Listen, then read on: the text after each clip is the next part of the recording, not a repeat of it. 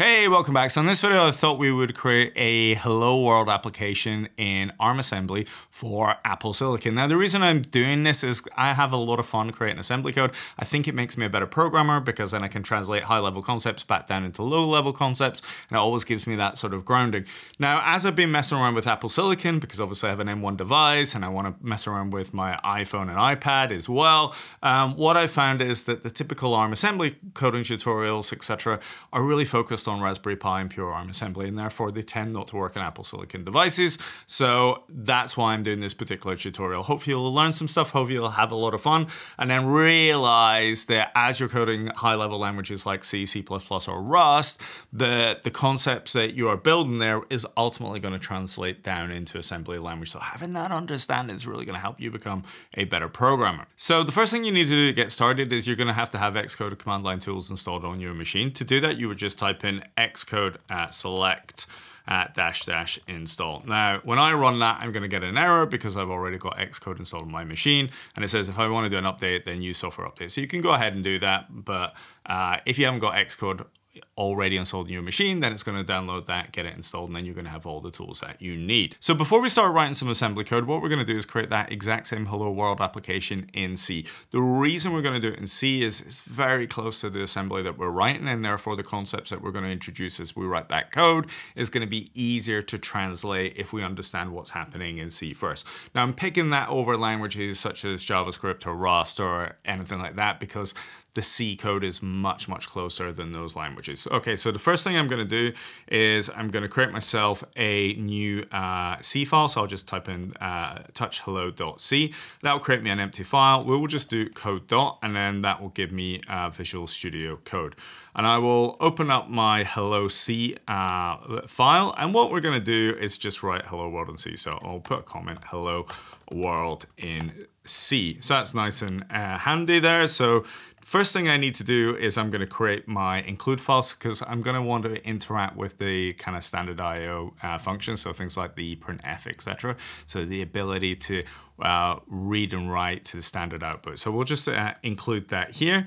And then what I'm going to do is I'm going to create a main function. You can see GitHub Copilot is already giving me a nice suggestion. So let's uh, let's uh, just select that. So you see what's actually happening is I'm going to have a function called main. So that's sort of standard convention for C programs is that you're going to have a main function there.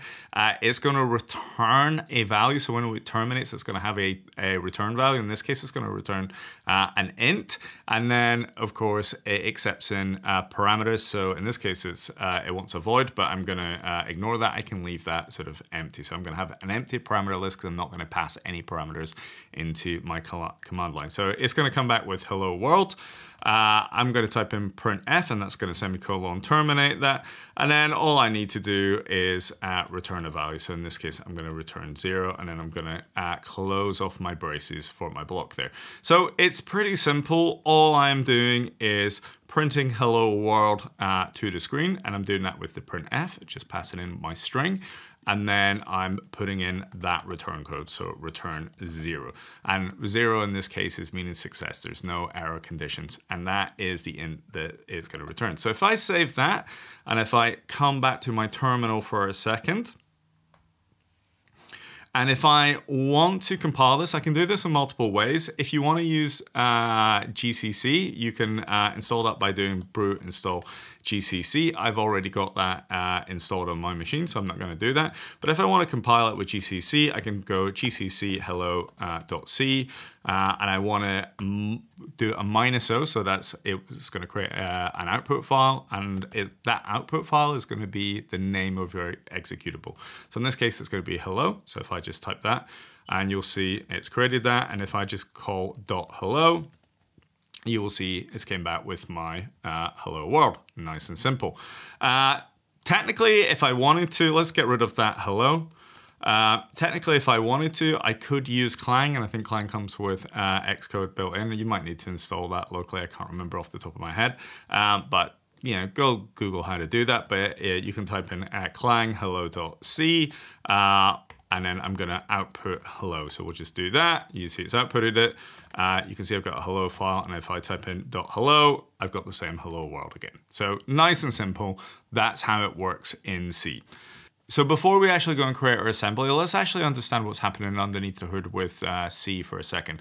So we have the C compiler, which can be Clang or GCC. And what it's going to do is actually compile your underlying files hello.c. And then it's going to do that compilation and then it's going to create what's known as an intermediate object file. Now that's happening underneath the hood. You're not seeing that at this moment, but we're to manually break that down so that you can kind of see those steps. The the thing that is the problem though is any sort of external libraries you've got or any external global variables. At this point, it doesn't know anything about that. So if we come back to our hello world C file for a second, now of course it's going to be compiling all of this, but we've got that include file, remember, which is the, the standard io.h, which is providing us this function called printf. And that's actually the key part of this process. So when if I come back into my uh, uh, slide there for a second, I do the hello.c compilation, but as it stands, because the standard IO uh, .h is actually the thing that's got the printf call, i.e. the thing that's writing out to my uh, standard output, then I need to be able to link those inbuilt system libraries together. And that's where a linker comes in place. So the linker is going to sort of take any libraries that you need, link them together so that when you're referencing any sort of global or external functions, it's going to smoosh that together and then you're going to have that outputted executable. So if we didn't have this sort of linking step in between, we wouldn't know where those system libraries are and we wouldn't be able to use this sort of standard uh, Linux output calls or Unix output calls. And that's going to be important when we get to Apple Silicon a little bit later. So if I come back into my terminal for a second, what we can do is we can actually do this manually. So what we will do in order to generate that object file is I can pass in my, uh, I'm going to use Clang again, I can pass in my hello.c, that's my uh, source file. But what I want to do is I'm going to use the minus C option, which is then say go generate me an object file. Rather than generating an executable, go generate me that object file. And now as an output, I'm going to do the minus O. I'm going to want you to output a hello.o. So by convention, these object files are called hello are called .o files or .object files in that sense. So if I run that for a second and then do an ls, I can now see I've got my hello.c, which is my original source file, but I've now got that hello.o and I can't execute that because it's not an executable at this stage. So what I now need to do is in order to get that standard IO stuff, i.e. the writing out to the output and even doing things like termination, I need to get access to that uh, standard IO library. And to do that, I'm gonna have to do my linking step manually. So to do that, I'm use a linker, it's called LD. If you wanna understand more about the linker, you can type in man LD and read all about it. Uh, but uh, if you type in LD, and what I want to do is pass in my hello.o file. So that is my input file in this case. So I want to, that's what I'm going to pass in for linking. And then I want to uh, essentially output. So I'm going to put a minus O and I want to call that hello. So I want my executable to be called hello. And what I now need to do is pass in the list of libraries that I would need to um, essentially link uh, as part of the compilation process. So in this case, I want to pass in the uh, uh, the the macOS SDK, which has got all the libraries I need and all the standard I/O function calls. So if I um, let me just open up another uh, tab in my terminal for a second. So I just type into that terminal xcrun minus SDK macOS uh, x dash dash show dash SDK dash path. What it's going to do is come back with the location of that SDK, and that's going to have all the libraries that I need to be able to do my linking. And if I come back to my terminal, what I essentially need to do is pass, pass in that SDK path, because that's got my libraries that I need, and then it's going to be able to link it to the standard function. So to do that, I'm just going to type in minus L system, so it's saying go get the system calls from here, uh, minus syslib root, and then I'm just going to put a tick in here, and then I'm going to uh, copy in uh, that command that I typed in earlier, and then I'm just going to uh, just add another tick here. And that's basically saying when you do the linking, go link uh, the system files from this location here, and then it's going to be able to find all my standard I/O calls. Um, that's kind of cool. And then the next thing I want to do is I'm going to pass in minus e, uh, and minus e is basically saying what is my start function name, right? So again, if I come back into Visual Studio Code, you can see uh, I've got a function called main. So from a linker perspective, when it's starting at executable, what is it starting function? In this case, it's main, and the convention is, so when I write something in, in C, it's gonna take that uh, main function, and then it's gonna rewrite it, and then just give it an underscore. So I'm just saying, start that file there. That's going to be important when we get to Apple Silicon a little bit later. And then the last thing I want to do is specify the arch. So in this case, I'm going to type in it's uh, minus arch ARM64. Now I could skip that and not specify the, arc, uh, the arch because I'm already on uh, my M1 device, but you know, um, it's fine to kind of put that in. So once I do that and run that, you can see that's executed. And if I do an ls, you see and now I have my uh, executable there. And if I type in uh, uh, dot forward slash hello, you can see it's come back with my hello world. So I've done that two-step process now. What I've done is, is I've done my compilation to the intermediate object file, and then I've done the linking manually uh, into my uh, final executable. So now that we understand what's happening underneath the hood, we can actually write our Apple Silicon uh, assembly. So first things first, what we're gonna do is create that Hello World application. Now, what we will do is we need to create uh, a source file. So convention in this case is it for to have a .s uh, uh, extension. So we will call something hello.s. So once we've done that, we can type code dot and there we go, we're in Visual Studio and we have our hello.s there. Now I am using an extension here, as you can probably see. So if you go to extensions, and then if you type in uh, something like uh, ARM assembly, you will see there is uh, an ARM assembly uh, extension by Dan C. Underwood. That's the one uh, I'm using there. So if you want all the kind of nice uh, sort of uh, syntax highlighting, etc., then do that. Okay, so we are going to create our uh, hello world uh, application. So we'll say hello world. Now, before we do that, what I want to say here is that rather than going directly to the hello world, what we will do is just create an application and then terminate it first. Once we're able to terminate it, then we will be able to uh, uh, it then extend that to have hello world. So what we will do here is the first thing that we need to do is specify what the starting function is going to be or the starting label. Um, so again, remember in the linker we put minus e and then we said this is the starting function.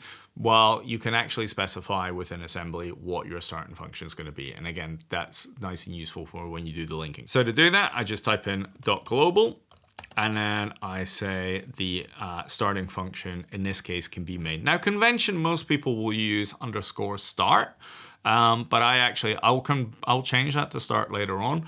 But I'm going to use main for just now, just so that I'm a little bit in line with the, uh, the C code.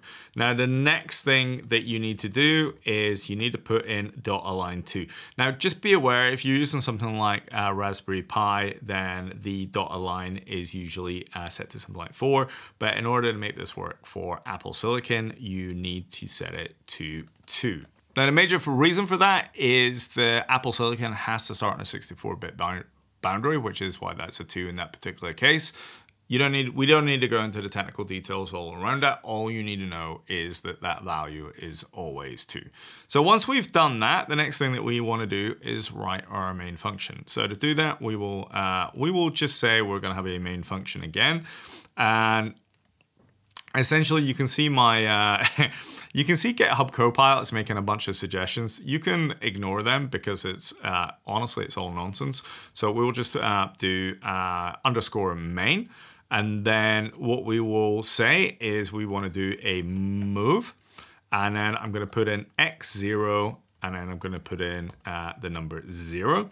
Okay, I'm not going to go too much into the details for a second, but when you're dealing with assembly language, you're essentially interacting with registers already. It's basically uh, a register-based machine in this particular case. I have a whole video on that uh, uh elsewhere, but I'm not going to go on that into too much detail just now. So essentially, in the case of ARM assembly for Apple Silicon, the first seven registers uh, of the X variety, i.e. X0 to X7, are basically for parameters. So if you think of making a function call, x0 is going to be the first parameter of my function. That essentially is what's happening here. So when I'm passing in a, a zero here, what I'm essentially saying here is I'm, I'm sort of setting myself up to make a function call. I'm passing in the number zero and essentially uh, is going to go into that first register. So I, again, remember that return statement. What I was doing was returning zero. Return is essentially, I'm, I'm making a termination, I'm ending. So I'm going to make a, a, system call of some sort. And what I'm doing is setting up my parameters in advance. So basically I'm doing a move. I'm moving at the value zero, the return zero into the parameter register, which is register x0. So registers x0 to 7 are used for uh, parameters for a function. That's what's going on. There is also, an, and x is basically the x register, that's for 64-bit uh, integer numbers. Um, yeah, I could pass through W0 if I want to pass through a 32-bit integer number. So I could I could do W0 there and it's not going to make any difference. But, you know, we're, we're dealing with 64-bit in general, so I'm just going to default to using X0 in this case. So I'm basically setting myself up. I'm going to call a function and I'm going to pass in the value 0 uh, there. So next thing that I want to do is I want to terminate the program. And basically to do a termination, I need to call a uh, Linux service command, right? And that is essentially done by calling move x16. So again, another register. And basically when you call x16, you are saying, um, I am getting ready to call myself a uh, a supervisor call. We'll go into this in a little bit more detail in a second. And when I make that supervisor call, uh, I wanted I want to tell you which command I'm going to call. In this case, we want to call termination.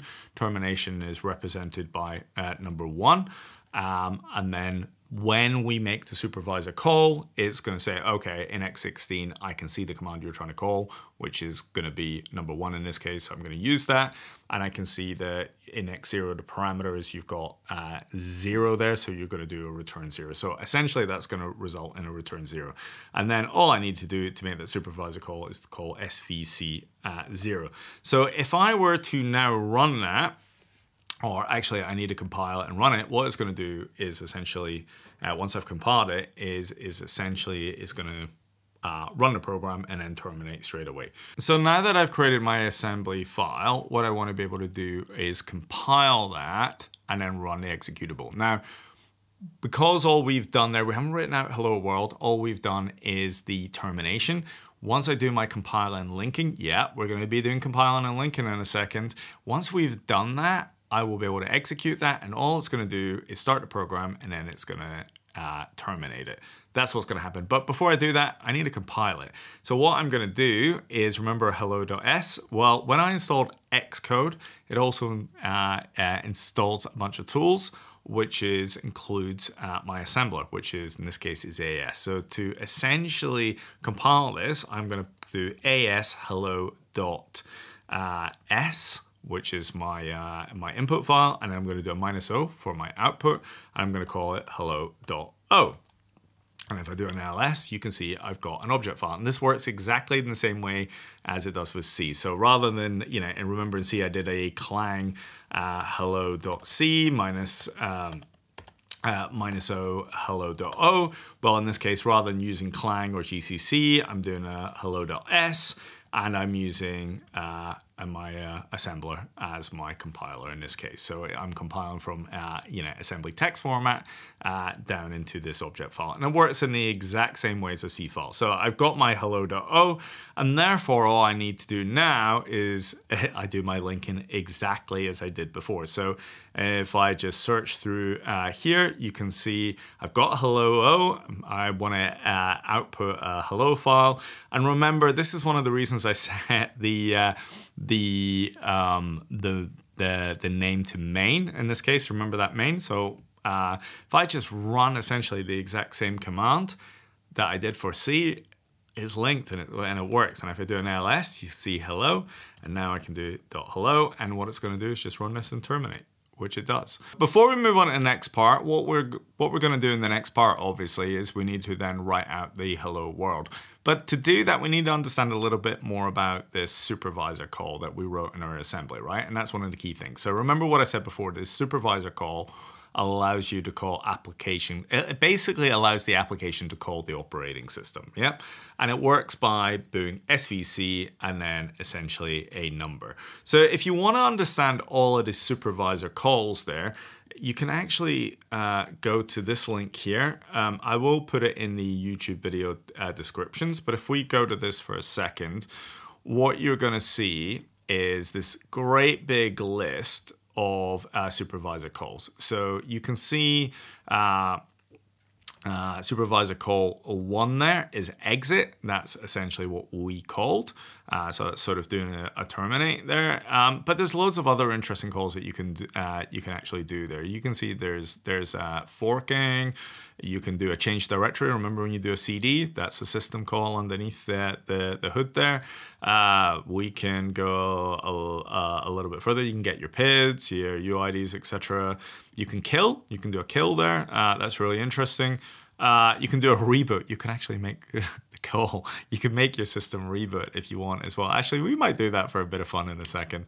Um, and then uh, I think uh, the nice one there is you see uh, number three, number four. You see that right? Uh, well, that's going to be writing uh, to your standard output. So when you want to do the print, which we're going to do in a second, that's actually what we're going to be calling is going to be making that supervisor call uh, to write there. But before we do that, let's um, let's let's uh, explore uh, a little bit more. Okay, so let's let's kind of clean this up a little bit, and then I'll kind of show you what it means. So we now understand what that supervisor call is there. So remember supervisor call, we pass in a zero. Uh, we pass into x16 the one. Remember that big list that we said there? That was uh, that's essentially the terminate.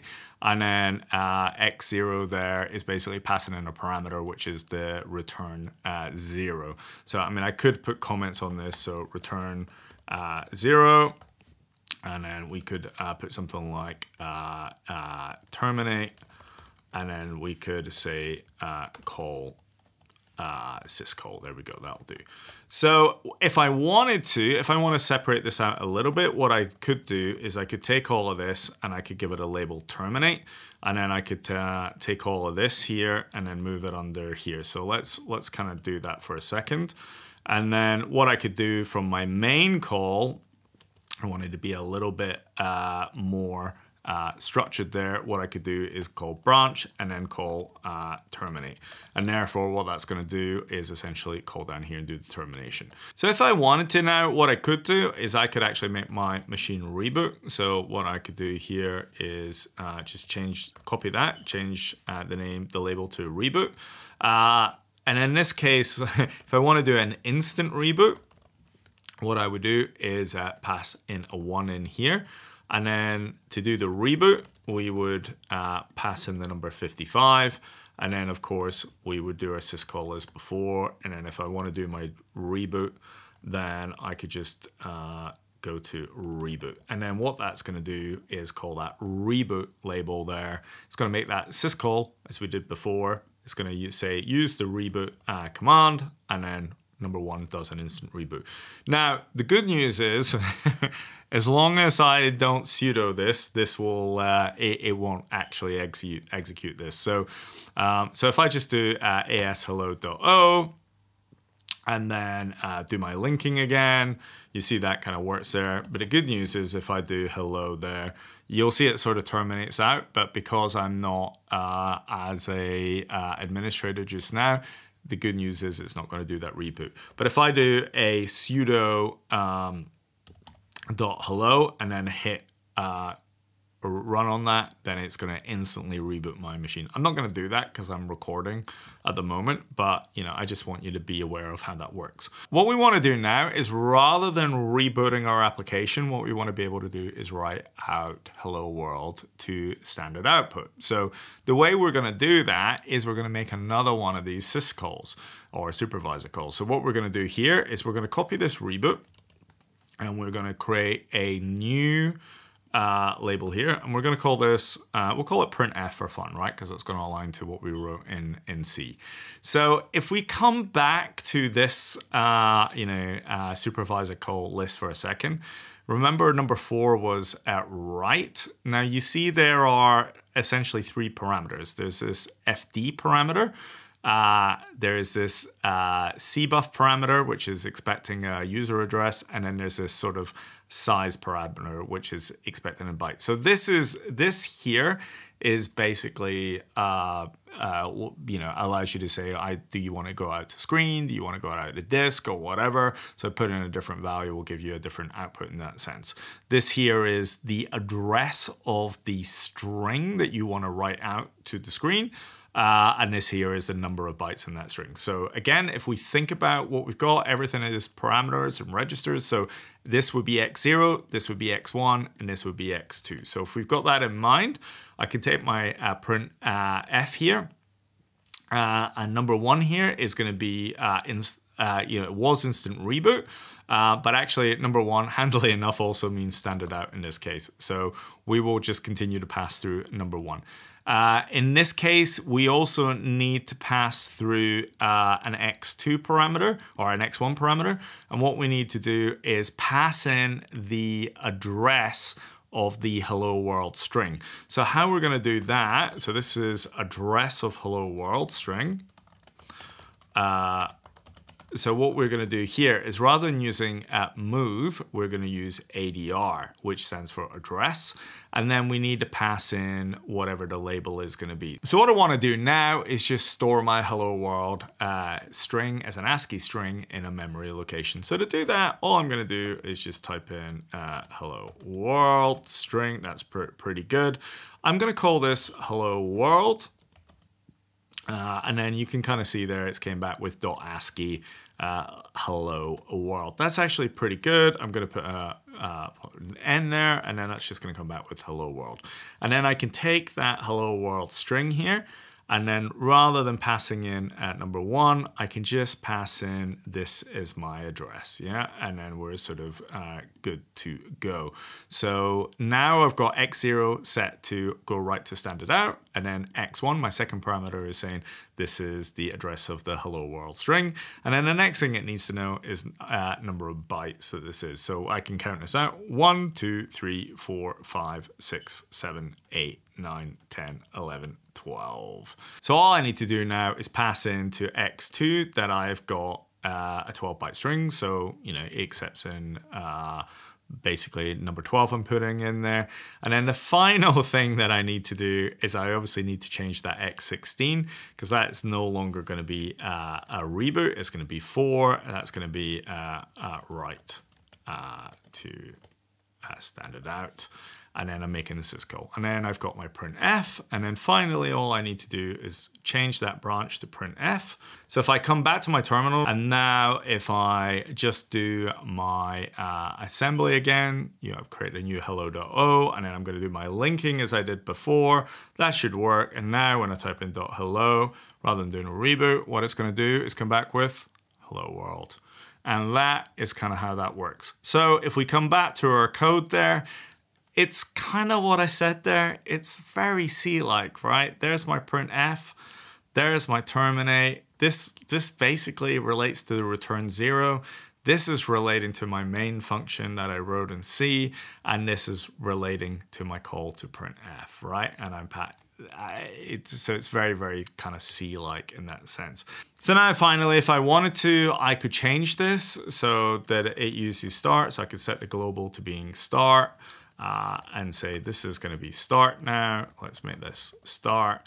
So if I if I assemble this again, and then if I link it again, you see I'm going to get back an error there because expecting a main there is in my minus e. If I wanted to, I can get rid of the underscore main and put underscore start and then run my hello again and then it's going to work. So that is how assembly works in Apple Silicon. It's a little bit of a long tutorial, but I think it's giving you a pretty good understanding how that works. Um, in the future, you can extend that out. We might do another video at some point where we go into a little bit more details. We start doing, you know, typical things like kind of if statements, which are essentially branches, and do things like loops, etc., or do comparisons, etc. You know, and then sort of work out all the various commands that you need. But um, I'm hoping you get a fairly good idea now of underneath the hood and you can go and create your own sort of Apple Silicon assembly code if you want there.